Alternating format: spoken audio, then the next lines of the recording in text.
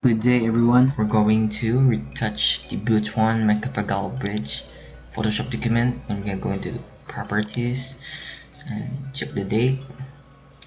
It was created Thursday, July 12, 2018, modified Saturday, April 28, 2018.